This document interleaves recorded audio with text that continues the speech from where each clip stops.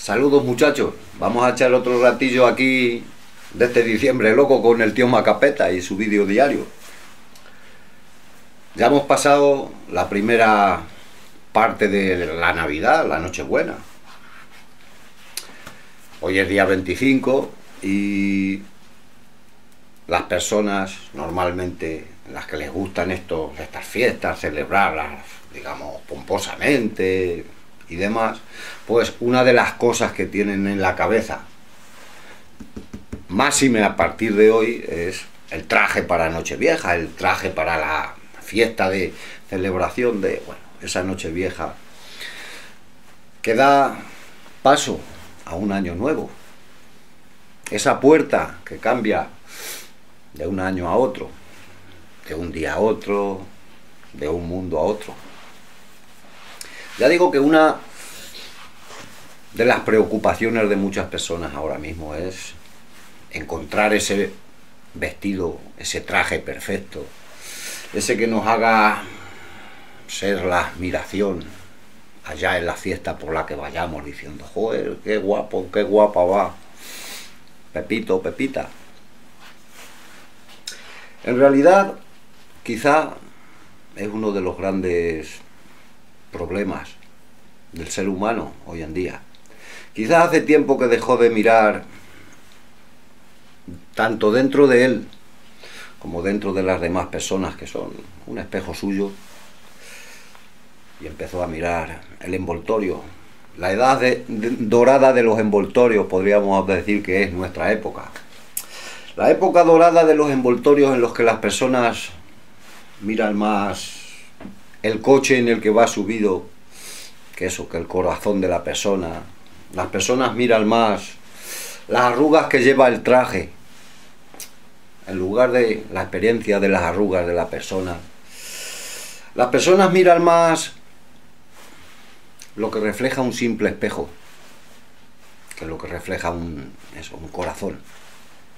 Quizá para preparar el traje de Nochevieja, de Año Nuevo o de cualquier otra noche, hay que empezar por eso, por fabricarnos un traje de los que de verdad luego nos agradan, porque no olvidéis que, aunque para las personas que su fijación es esa, el espejo, ese traje, ese vestido, esas joyas, sean lo que más les llame la atención.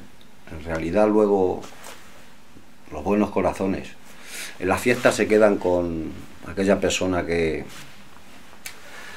les proporciona un buen ratillo de buenas vibras, un buen ratillo de alegría, un ratillo de buen rollo, palabras de ánimo, palabras de amor, no aquel que simplemente o aquella se pasean luciéndose para ser admirados ellos y su ego, olvidando que ellos mismos se desprecian totalmente, haciendo que esas vestiduras, esas alhajas, se conviertan en su primera cara, en el reflejo a las personas. Si tú mismo no estás contento contigo, porque quieres ser aquello que ese traje, esas alhajas y ese brillo te dan, evidentemente, ya digo, mirarás el coche, pero la persona cada vez la dejarás más escondida, tras unos cristales cada vez más tintados. Ya digo muchachos que preparéis el traje para estas fiestas, empezando por pintar vuestro corazón de felicidad, pintar vuestro corazón de ilusión, de armonía, de empatía, de ganas de hacer felices a los demás, poniendo vuestro granito de arena. Y como todo, ya digo, quizá si hiciésemos la misma fuerza, pusiésemos la misma gana, preparáramos con ese prácticamente sin vivir todos. Un mundo nuevo, en lugar de excitarnos preparando eso, el envoltorio para una noche buena o una noche vieja, quizá empezaríamos a encontrar esas llaves perdidas de un paraíso que quizá lo perdimos por eso, porque empezamos a mirar bellezas artificiales, amores artificiales o incluso verdades artificiales, por la belleza de la naturaleza, por la belleza de ese todo al cual pertenecemos. Nosotros elegimos, muchachos.